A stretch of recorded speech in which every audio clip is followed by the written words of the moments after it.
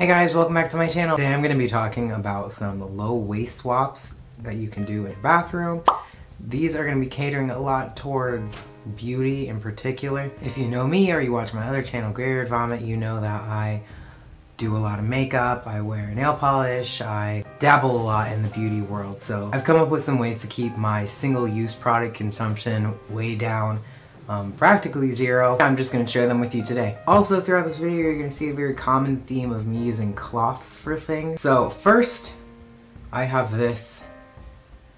This is what I use to remove my nail polish. So it's just a really old washcloth and I will like dip the nail polish remover in it and I use it to remove my nails and then ever so often I wash it and majority of the nail polish stains will come out like these are all like fresh, if you know what I mean, like they're still crunchy. The, yeah, the majority will come out, and even if they don't, it still works just fine. This way you're not buying the single-use cotton pads in the plastic containers. Next,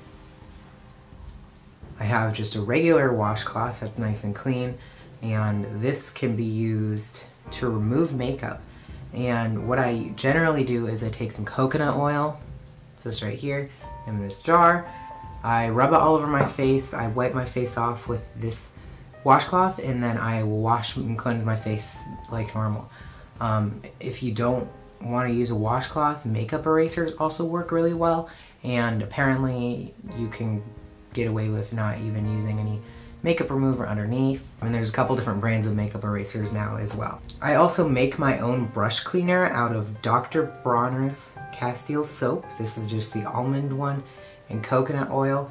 Um, this gets your brushes really, really clean, and then the coconut oil kind of moisturizes and rehydrates them because you don't want them to be just super dried out. And the last thing is this. This was um, a little towel, like a tea towel or a dish towel. Basically, just cut in a little square shape. You can serge the edges if you want, which I plan on doing later.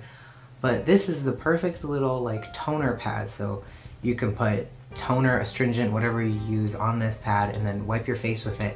And because it was cut out of a larger towel, you can have like 20 of these, use them throughout a week or two, and then just wash them all. And then they're ready to go again. So it's kept cleaner and more sanitary than if you were using like the same washcloth every time, which you can do that too if you want. Yeah, super easy and a towel like this one, this is just like like a mainstays, like a Walmart $1 kind of a towel. So if you spend $1 on a thing of cleansing like cotton pads that you could use for a couple weeks, or you could spend $1 on this and use it for years.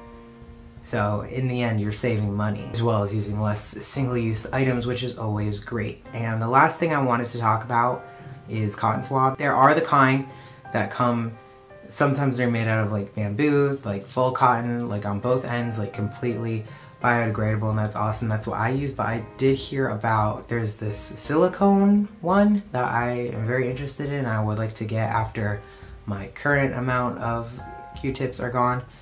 But basically like the end is silicone and you can use it to like clean up your makeup or clean the outside of your ear. Apparently, it's supposed to clean the outside of your ear. You can do anything that you can normally do with a Q-tip, and then you just wash it and use it again. So that is probably something cool to look into if you're interested in that. Yeah, that's all I have to show.